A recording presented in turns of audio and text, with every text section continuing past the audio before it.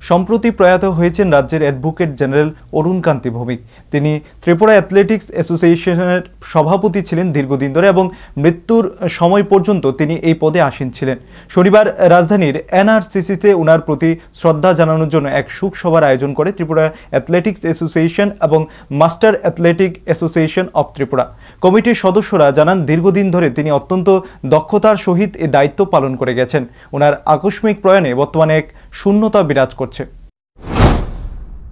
আমাদের রাজ্য অ্যাথলেটিক অ্যাসোসিয়েশনের প্রেসিডেন্ট শ্রী অরুণকান্তি ভৌমিক মহোদয়ের আমরা আজকে স্মরণ সভা করছি। আমরা যখনই এই দায়িত্ব নিয়েছি দুই হাজার ষোলো সন থেকে, আমরা অনেক বড় ধরনের কর্মসূচি আমরা করেছিলাম। ওনার সাহায্যে, ওনার সুপরামর্শে আমরা পঞ্চাশতম যে অ্যাথলেটিক সুবর্ণ জয়ন্তী আমরা করেছিলাম। তারপরেও বিভিন্ন অনুষ্ঠানগুলি আমরা করেছি ওনার সাহায্যে।